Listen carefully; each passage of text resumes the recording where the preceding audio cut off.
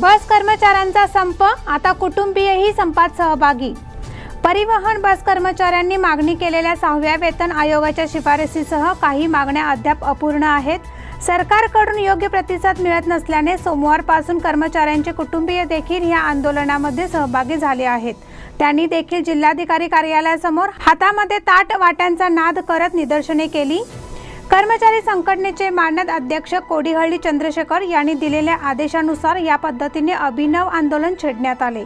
कर्मचारी संघटनेच्या वतीने सोळा मार्च रोजी सरकारला नोटीस दिली होती. मागण्या मान्य करण्यासाठी सरकारला पुरेसा वेळ दिला. समोरासमोर झालेली चर्चा निष्फळ ठरली. संप पुकारलेला असताना जीवाची भीती असतानाही काही कर्मचाऱ्यांनी सेवा दिली.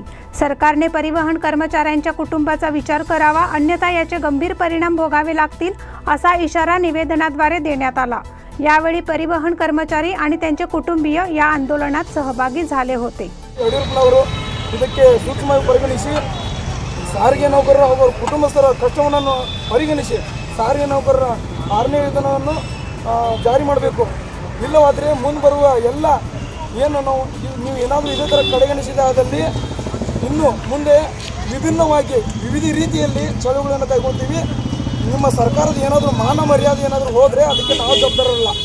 ನೇರವಾಗಿ ಸಾರಿಗೆ ಸಚಿವರು ಹಾಗೂ ಮಾನ್ಯ ಮುಖ್ಯಮಂತ್ರಿಗಳು ಇದಕ್ಕೆ ನೇರ ಜವಾಬ್ದಾರರು.